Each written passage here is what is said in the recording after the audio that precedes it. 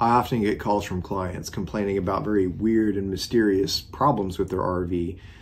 Often this is electrical problems related to the battery connections for their house batteries. If you have battery connections that are corroding and they're not making good electrical contact anymore, it can create a lot of problems like your generator not starting, your steps not working, lights doing weird things, your air conditioner not working.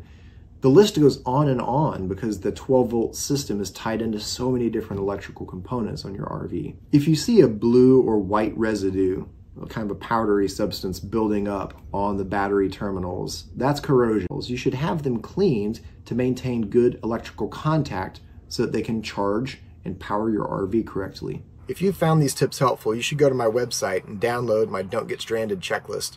It covers four of the most common reasons that I get called out to stuck RVs and how you can avoid it.